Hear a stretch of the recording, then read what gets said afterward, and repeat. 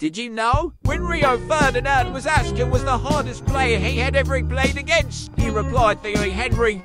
I would see him in the tunnel and think, wow, that's Thierry Henry. There's only a few players I've seen that have had that effect on people. He would be on your mind before you put your head in your pillow the night before. Do you agree? He is the best player you have seen in the Premier League.